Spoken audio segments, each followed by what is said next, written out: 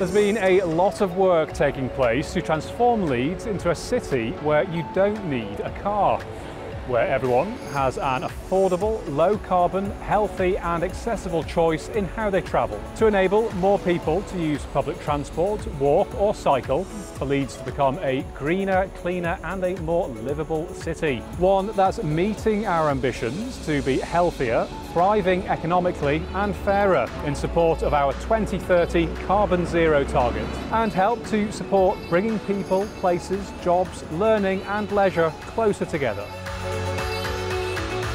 This is happening by making improvements to road, rail, bus, park and ride, cycling and walking infrastructure and services to reduce congestion and improve air quality and accessibility in Leeds. Leeds City Council, working with our partners, the West Yorkshire Combined Authority, the West Yorkshire Mayor, bus operators, stakeholders, Department for Transport and other city transport operators through Connecting Leeds are making step changes to transform transport and places.